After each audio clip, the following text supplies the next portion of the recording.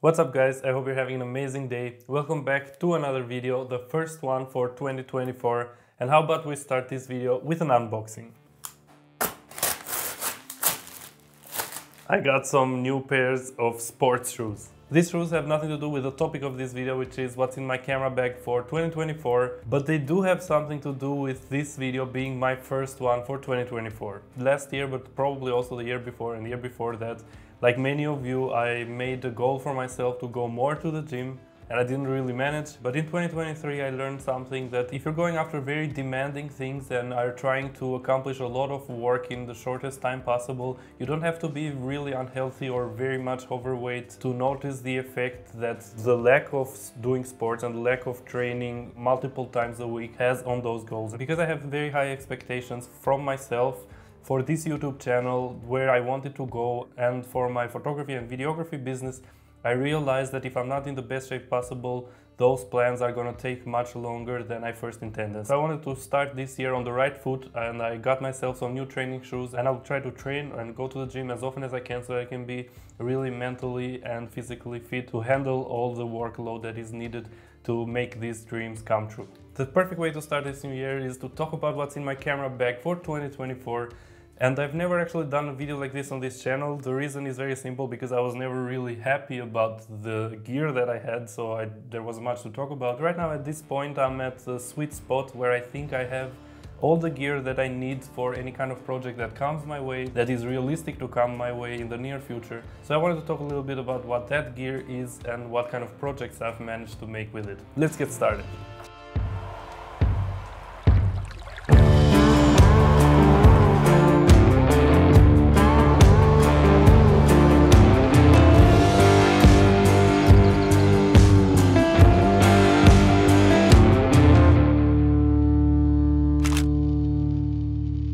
First thing to talk about is the backpack itself.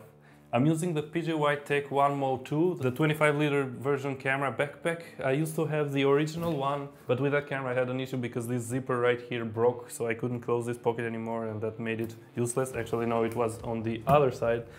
And so I upgraded to this. And the reason why I stayed with the PGY Tech backpack, I've also made a video about it comparing the two backpacks, is because first of all I really like the design. It looks really like a high quality, good backpack. Um, this material is really nice when it gets dirty, you can clean it very easily. And also if it snows a little bit or if it's a bit rainy, uh, it can also deal with that so it doesn't let any water inside and uh, you don't need the cover because it also comes with a cover for those heavy rain situations that you might find yourself in outdoors. 25 liters is generally plenty of space, but especially if you're traveling somewhere that you also need to carry clothes and stuff that might get a bit tight. But with this backpack, the good thing is that with one zipper, you can extend it even further and I love that feature. You also get this right here which is a shoulder bag with it because I do social media work like I manage uh, my client's account and I create content for them mostly for bars and restaurants. Sometimes when I go to them to film some reels I don't need so much gear. I only need my camera one or two lenses.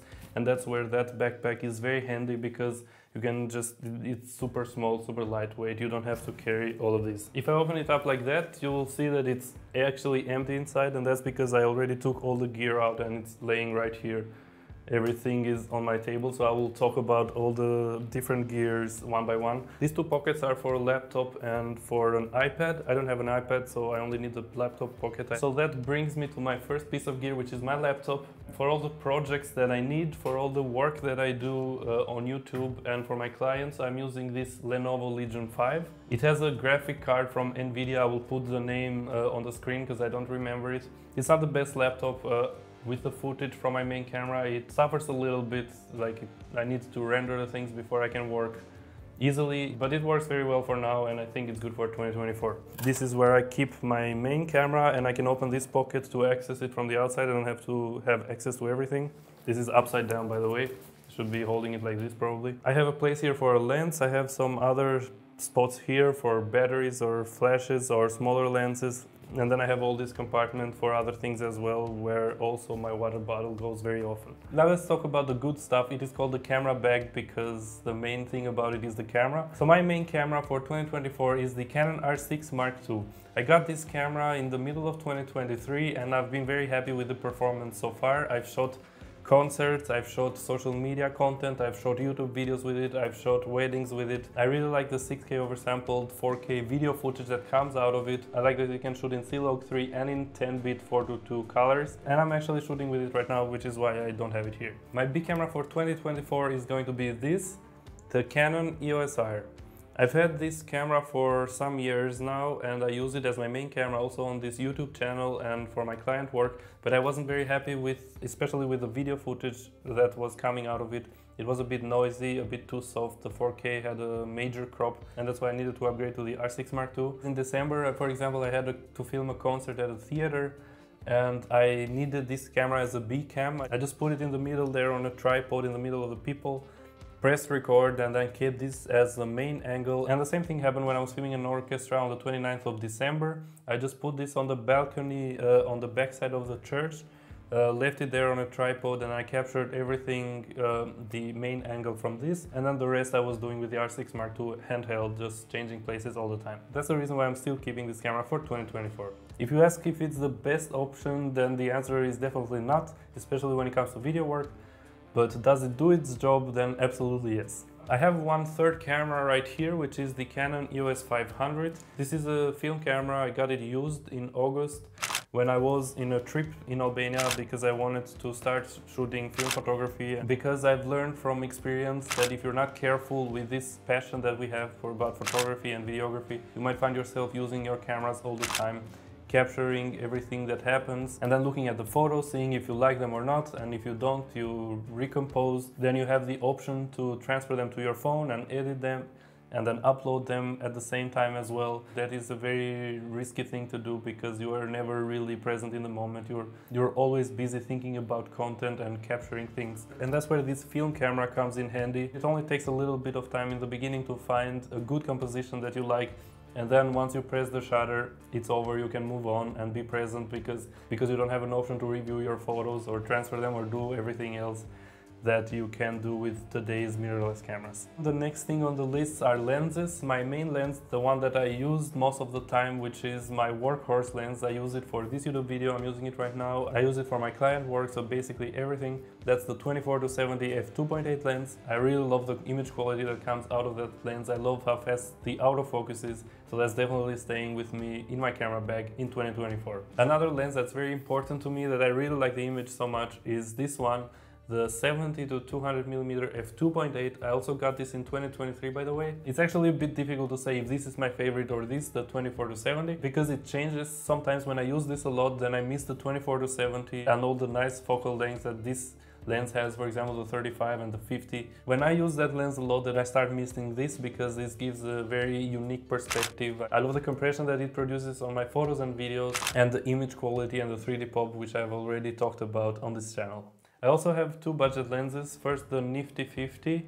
which was my first lens after my kit lens, the 24-105 f4 to 7.1. So this was the first lens that gave me that shallow depth of field and a nice bokeh. The 16 millimeter, I actually got this when the EOS R was my main camera to film these YouTube videos right in here because the EOS R has a 1.7 times crop in 4K and I wanted to film them in 4K so I got this 16 millimeter lens to give me a wider field of view. But now that I have the R6 Mark II and it doesn't have a crop in 4K, then I just use the 24 to 70 for it because the image quality from an L series lens is much better than a cheap lens like this.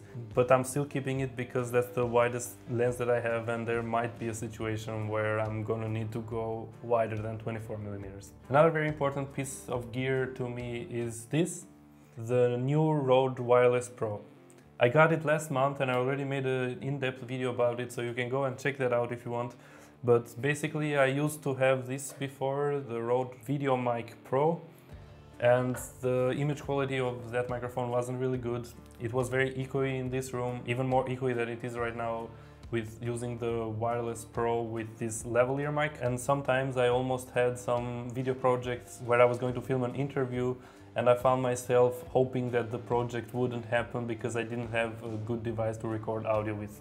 So I'm very happy to have this now, peace of mind, and also it's great to use for this channel as well. And I'm looking forward to making use of them in 2024. When it comes to lighting equipment, I use this flash, the Godox what is this TT6852 for Canon and I also have this device which is used to trigger the flash off camera because sometimes when I do product photography for restaurants it's better to have the light from a different perspective and I put it on a stand in a softbox and the photos turn much better like that. If you want to see the technique that I use to take these product photos, and I also made a video about it last year, so make sure to go and check that out. The next thing in my camera bag in 2024 is this, the DJI Mini 2.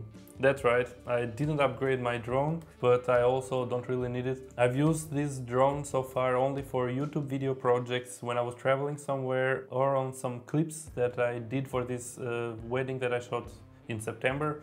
So I haven't been using this so much. In Vienna you're not allowed to fly a drone anyways, you have to go outside of the city in order to do that. And I don't go outside the city all that much. So I think this drone does the job so far. I like the footage that comes out of it anyways. It, the 4K footage is really nice. It doesn't have log, but it's fine. It still tells the story. I'm happy with it. The next thing, which is also a piece of gear that I didn't really upgrade for quite a while now, is this. Is the GoPro Hero 10 Black. I'm not super happy about the footage that comes out of this camera to be honest. It's quite noisy and even though it's 5.7k footage, it's an action camera 5.7k footage so it's really not comparable with uh, footage that comes out of the uh, mirrorless cameras for example but it's still very helpful for some situations. In this little pouch or whatever that's called uh, there's also this dual charger for the batteries of the GoPro. There are two extra batteries of course. I also have this thing where you can put the GoPro right here and then hold it to vlog. But also what I found helpful is because in the summer we were on vacation in Albania and we were swimming in the sea and I wanted to film the underwater world because I really like how it looks. I noticed that if you were to throw the GoPro in the water with this attached to it then it would float and not sink to the bottom of the sea. Moving on, the next things that I have here which also I don't always carry these in my backpack, only sometimes when I have to travel abroad hard drives. This is a 2 terabyte solid state drive from SanDisk. Then when I want to work on a project and I'm on the way, then I just transfer the files in here and then I can edit straight from it because this has faster transfer rates. But when I want to store some footage or some projects that I've shot and not necessarily use them all that much, uh, except for knowing that I have them there when I need them, then I use these uh, hard disk drives because they are cheaper basically. The next thing that I also got in 2023 for the first time is this. It's the Peak Design Capture Clip 3, I think is what the full name is. So basically you have this plate here which you can mount to the bottom of your camera and then uh, mount this for example on the short shoulder straps of your backpack or in your belt or something and then the camera which has this at the bottom just slides right in and then it doesn't come out anymore and I find this device super helpful especially when you want to have some free hands, for example, when you're doing something or when it's winter that you can get cold and you might want to put your hands in your pockets, then you can just hang your camera here and then when you need it again, you have immediate access and you don't have to go to the backpack. So I'm super happy about this device, it's really helpful. Another thing that I have in my backpack is this, a memory card holder. I just got this on Amazon I can just store my memory cards in here and I always know where I have them. It's also waterproof so I really like it because it can keep your cards not only organized but also safe, which is really important. The next thing, which is also something I don't really care with me all the time, but it's sometimes in my camera backpack, is this uh, travel cleaning set.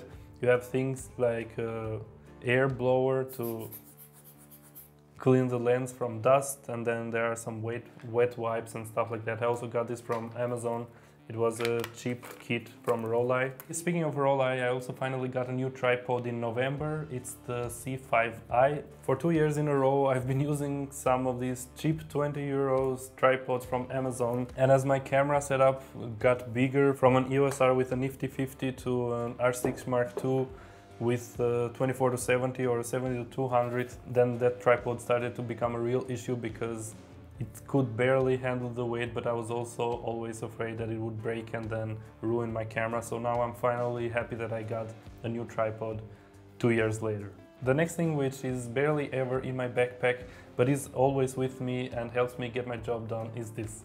I'm still rocking the iPhone 14 Pro. I really like the new iPhone 15 Pros because they can finally shoot in log, which the 14 Pro can't. But in any case, when I want to shoot high quality videos or any times that I want to shoot videos anyways, I bring my camera with me, so I didn't really find necessary to upgrade it. But what I use this for mainly is to post things on social media, and also I use it a lot to edit photos on the Lightroom mobile. So this is probably staying with me for the whole 2024 as well. Another thing which you probably saw in the beginning of this video was this pocket knife, especially when you are on wild places and away from home, one of these pocket knives can be very useful. Let me know in the comments below what kind of camera, what kind of lens, what kind of drone you're using to get your projects done in 2024 and also what is your dream camera, your dream lens, what is the gear that you're saving up for? And let's just have a deep conversation about it in the comments down below like real gearheads that we all are. That was it from me guys. If you like this video, make sure to give it a thumbs up and also subscribe to the channel so that we see each other in the future. I'm super excited about what 2024 is going to bring for us and for this channel, what new things I'm going to learn and all the experiences that I'm going to make and also share with you. I wish you all a happy new year, a happy 2024 and I hope you manage to reach all the goals and all the plans that you have set for yourself